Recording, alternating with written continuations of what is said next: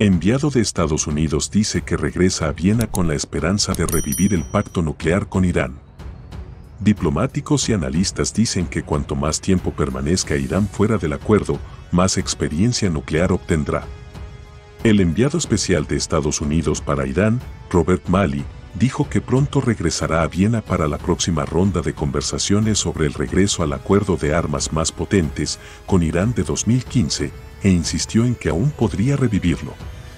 La administración de Biden ha estado tratando de revivir el acuerdo que levantó las sanciones contra Teherán a cambio de restricciones en sus actividades nucleares. Posteriormente, Irán quebrantó muchas de las restricciones del acuerdo y siguió presionando mucho más allá de ellas. El presidente Joe Biden todavía quiere que negociemos en Viena, dijo Mali. Volveremos la semana que viene. Eso es un símbolo o una señal de nuestra creencia continua de que no es un cadáver, que necesitamos revivirlo porque es de nuestro interés. Mali parecía referirse a la próxima semana.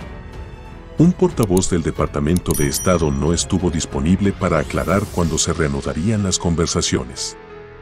Hablando bajo condición de anonimato, un funcionario europeo dijo que los principales enviados a las conversaciones de Viena, que son indirectas porque Irán se ha negado a sentarse con los diplomáticos estadounidenses, probablemente se reunirán el martes en la capital austriaca.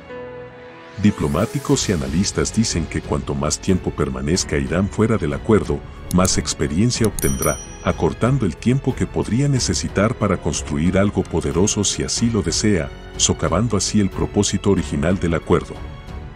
Irán niega haber buscado alguna vez desarrollar armas más potentes.